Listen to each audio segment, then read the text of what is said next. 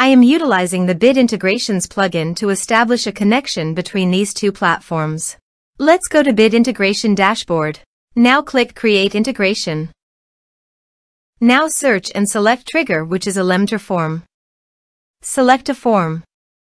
Click on Next. Search and select ActiveCampaign. Give here the API URL and API key. So go to the ActiveCampaign site and go to Settings and Developer. Under the developer you can show here API URL and API key. Copy the API URL and API key and paste it into the integration.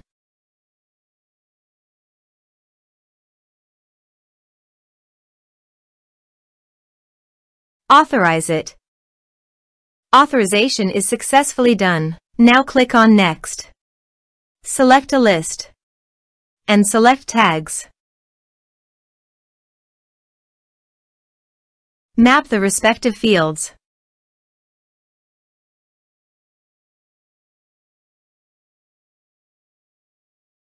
Under the action, you can update the active campaign by checking it. Here are advanced features in conditional logic. If you want you can use it for your own requirement. Click on Next, finish and save it. Now check the integrations by submitting a form.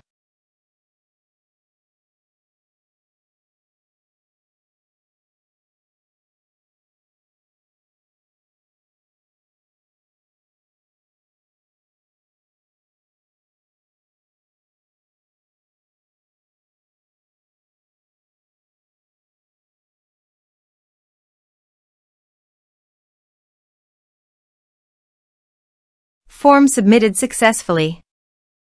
So go to the active campaign site and refresh the page. And you can see the data came successfully in the active campaign. Thanks for watching.